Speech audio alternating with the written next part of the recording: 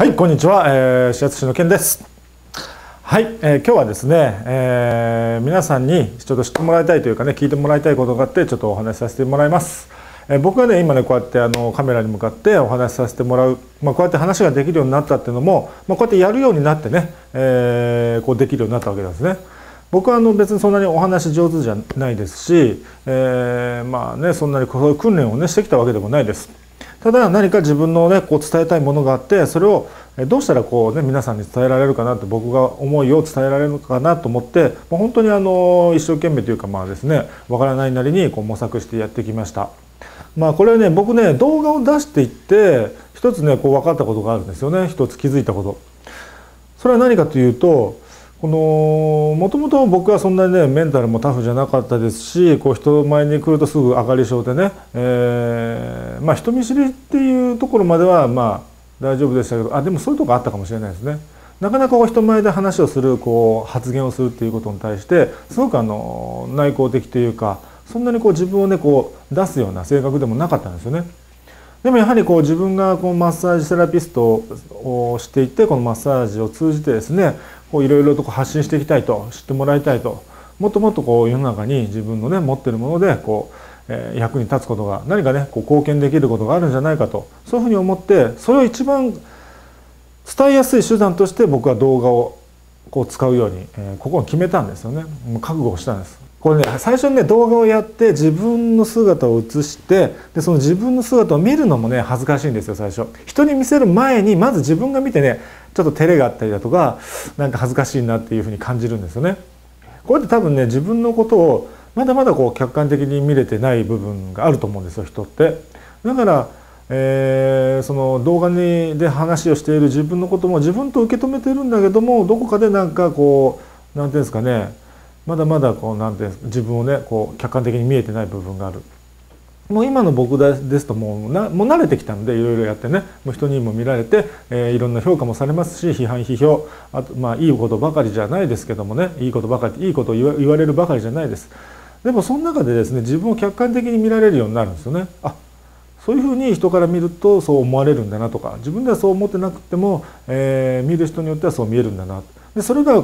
今度はね自分自身でも自分のことがそう見えるようになってくるんですよね。こう話をしている自分を見てあこういう癖があるなとかあこういうふうに外から見られるんだなっていう自分が普段ねこう意識している自我自分のこと鏡で見てる自分とかあとはまあ人と接してる中にいる自分ってこういう感じな感じなんだろうなってこういうふうに見られてるんだろうなって思ってる自分と人から見てる見られてる自分っていうのはまた別人格だったりっていうふうに、ね、なるんですよね。だからそういうのもねなんとなくこう見れ見えてくるようになるというかでその、えー、活動というかそういうふうにね、えー、繰り返しやっていって動画で自分を見てで人にもこう見てもらってっていうことを繰り返していくと自分自身を客観的に見られることになって自分のことがね本当にあの何ていうんですかねあの可愛く見えてくるというかあ頑張ってやってるなっていうかですねあとはなんか出す自分を出していくことによってすごくねあの周りっていうか人の目だとかあと批評だとか批判だとかっていうものに対してすごくねあのタフになりましたね。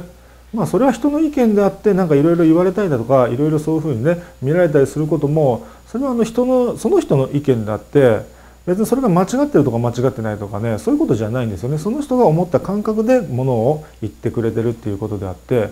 だから別にそのそのことに対して傷つくこともないですし何かねこう腹を立たせることもないんですよね。まあそれは僕も人間なんで、まあ、圧倒的にね批判的なそういうね、えー、こととかおもう何かねコメントとかでね書かれたりするとやっぱりああそうかもうちょっとなちゃんとしなきゃいけないなとか、まあ、そこまで言う必要ないのになとか思ったりもするんですけどもでもそれも一つのその人の意見であってだからといって自分がね人格をね否定されてるわけでもないですし何かをね攻撃されてるわけでもないんですよね。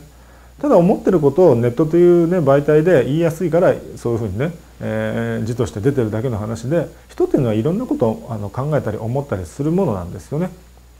だから僕は動画を通じてあのすごく感じたのはこれはね一般の人っていうかまあね普段そういうことやったことない人もどんどんねこうやってみるといいかなと思ったんですよね。動画を通じて何かこう発信すると自分の持っている僕はたまたまマッサージスキルというものが、えー、ありまして人にそのマッサージのね主義を教えるのがまあちょっと好きだったと。で少しずつやっていく上でもっともっとこうやっていきたいなっていう欲が出てきてそれでもっと世の中の多くの人に伝えたいと思ってこう動画を始めて YouTube に載せてそれで、えー、それに募ってきてくれた方に僕の持ってる商品を、えー、ご購入していただいたっていうふうにうまくこうつながっていったんですよね。だか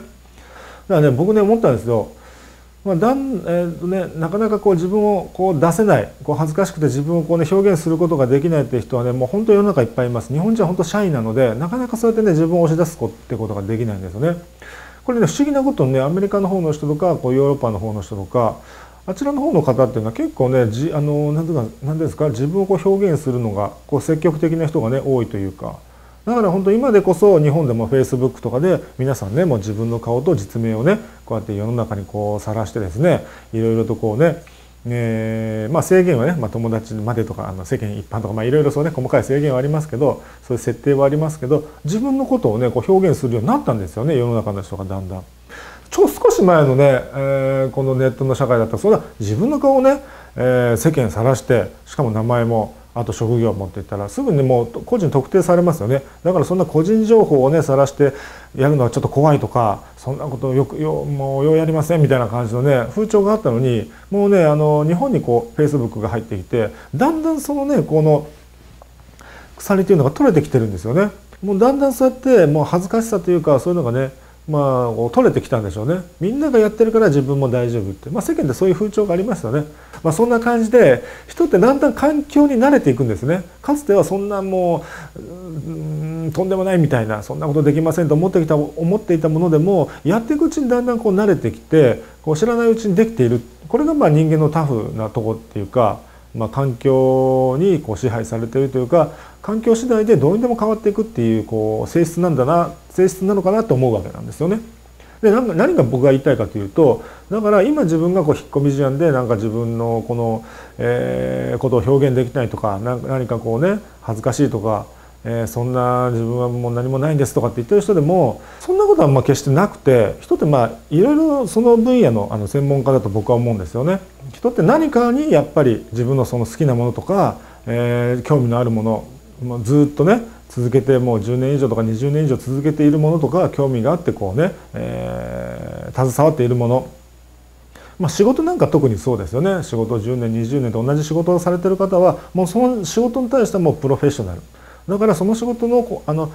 えー、話はまあできるじゃないですか。だからまあ仕事に限らず趣味でもいいんですよ。もう園芸が好きだったり編み物が好きだったりあとはまあ何ですか、えー、食べ歩きが好きだったりとかね。何でもいいんですよもう。分野プラモデル作るのが好きでも何でもいいですし映画が好きでもね何でもいいんですけどもその分野のことに関しては人ってものが言えるわけなんですよね。こういうふうですよとかあこういうふうだといいんじゃないですかとかね。だからそういうところでその分野あなたが好きな分野に対して興味を持ってる人に対してあなたはものを言えるわけなんですよね、えー、こういうふうにすると面白いですよと。でまあここで大事なあの大事になってくるのが、まあ、そうは言ってもね僕よりももうもっともっとあのできる人いますと。僕なんかもう本当趣味レベルでねそんな人に人様に教えるほどのものなんか持ってませんっていうふうに謙遜する方っていうのは結構います。でもねこのその分野にこれから入ってって勉強しようとかその分野で、えー、のことが好きでもう少しこう知識をこう吸収したいなと思ってる人っていうのは本当にもうもう行き過ぎたもうプロのお話も大事ですけども身近な人のねお話っていうのも結構興味あったりするんですよ。あとはまあ自分に近い価値観のもとでその分野に対してのお話をねしてくれる人とかあとはまあその人の人間性というかまあ人となりですよねそういうのもね、えー、結構ね影響してくるっていうのが僕は分かったんですよね。僕自身はマッサージセラピストとして今こう活動してて、えー、こう人様にねこうやってえー、教えるような仕事もねさせていただいてますけど僕自身がそんなねマッサージの世界治療科の世界で別にすごくトップというわけでもないんですよね。僕よりももっともっと素晴らしい先生いますしもっともっとねこの業界で長い経験のキャリアを持ってる先生方もいます。でも僕から聞きたい僕から学びたいっていう方もいっぱいいるんですよね。そういう人たちから学びたいという人もいますけども僕のこの僕とね指圧試験というこの僕から、えー、僕の話が聞きたい僕から教えてもらいたいっていう人その人はやっぱり僕じゃないとダメだと思うんですよね。僕じゃないのっていうのはちょっとおこがましいですけども僕からこう話を聞きたいと。だからこの動画を見てくださってるあなたもまあ何かご自身で好きなものとか好きなこととかねそういうことがあると思うんですよね。その分野でその分野の同じ自分のこの価値観と合う人同じ話ができる人いい関係ができる人とこうつながりあってそういう社会がね社会とか自分の中でこうコミュニティができてくるとすごく楽しくなってくると思うんですよ。まあ、これをですねまあ、僕は何が言いたいかというとこのネットの社会であなたがこう先生になってですね学びたいという人にこうものを教えていくっていうことをがまあ少しずつこうお仕事になるようになればいいなと思ってるんですよね。でそのためにはやっぱりですねまずは恥ずかしい自分なんてそんな何もないですっていうこうこの間違った情報間違ったこの、えー、感覚をですねまずはこう破壊してほしいというか壊してほしいんですよね。だから自分はこんなことがあるこんなことを思ってるっていうのをまずは客観的に自分のことを見てですねそこで少しずつ発信をしていくと。でまあその前にまずは先ほども説明というかねあのお話ししましたけどまずは自分のことを自分で動画を撮ってみて自分で見るわけですよね自分の姿を。そこで見た時の自分にまず慣れることが大事ですね。そこでやっぱりね照れがあるんですよね。何言ってるんだ何喋ってるんだもうこいつみたいな感じで、まあ、ある意味客観的に見られてるのかもしれないですけどもでもやっぱ照れがありますし恥ずかしい。それを人様に見てもらうなんて本当もうとんでもないみたいな。でもそれも少しずつやればもう慣れていきます。まず一回撮ってですねご自身の YouTube チャンネルを撮ってねそこにこうアップしてまず不特定多数の方にね見てもらうとそういうことをされるといいかなと思いますね。あとはまあ同じ趣味同士でこうつながってるねネットの中でつながってる人たち同士あとはまあフェイスブックでつながってるねフェイスブックやられてる方だったらフェイスブックつながってる者同士の人たちに限定でね限定公開っていうのもありますから YouTube にはその限定公開で動画を限定で公開してそこの URL はですね教えてあげたい人たちにだけこう教えてあげるその人たちだけが見れるっていう状況にすればそんなにあのプレッシャーはかからないんじゃないかなって思います。それで慣れてきたらもう不特定多数の世の中の人にこうね広く見てもらってそこでこうどういう反応が来るかなと中にはねすごく、えー、いい情報ありがとうございますとかすごくあの励みになりましたとかそういうね気持ちというかそういうコメントをねいいたりもするんですね。もう本当そうやってね言われた時ってもう本当心から本当に良かったなとこういうことやって良かったなと誰か自分が発信したこと自分がやってることによって人がそうやって、えーね、心を動かされてまあ役に立ったんだなっていうか、えー、いい作用が起きたんだな自分のことを必要としてくれてる人がいて役に立ったんだとそれによってこうなんかね、えー、感謝の気持ちをもらったりだとかするっていうのはすごくね精神衛生上いいんですよね。自分の精神衛生上すごく人ってねやっぱり、ね、何か自分に自分主導でですね人にこうしてあげてというか何かをしてそれに対するね感謝の気持ちとか見返りですね、まあ、感謝の気持ちという見返りをもらった時に自分自身の存在をこう自己肯定できるんですね。自分で自分の自身の存在をこう高めることができる。これってすごく大事なことなんですよね。まあ、日常的にそういう活動をして、えー、人からねこう感謝されるっていう状態を自分の中で作り上げておくと人生においてすごくねいい状態になれるんですね。状態自分の状態をすごくいい状態で管理できるようになるのでだからですねもうせっかくこうね今の、えー、時代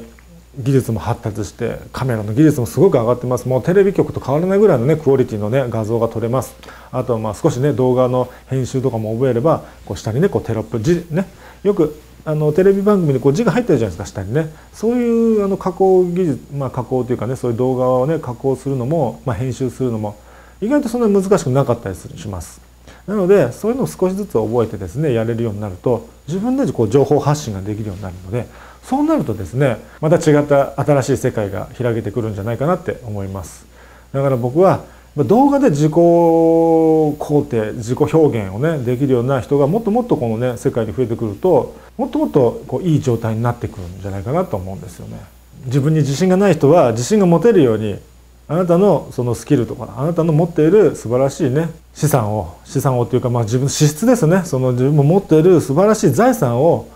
人にねもっともっとこう見てもらえるようにして、えー、活動されてみたら活動されてみたらどうかなというお話をさせてもらいました。自分で自分自身のことを下げずんではあダメです私なんて何もないですとかそんなことがとか人のその経験っていうのはもう財産ですからそれを知りたい聞きたい学びたいっていう人は必ずいますからだから、えー、一回ちょっとやってみてほしいんですよね。でそのやるための方法はあの僕まだね、えー、メッセージとかいただければどんどんどんどんあのお教えしますしお話しさせていただこうと思ってますんで是非ですね挑戦してみてください。できますから。何でもできます。最初だけです。怖いのは。最初だけです。本当難しいのは。もうやってしまえばだんだん楽しくなる。動画って本当にやっていくうちに楽しくなるんで。これが不思議なね魔力ですね。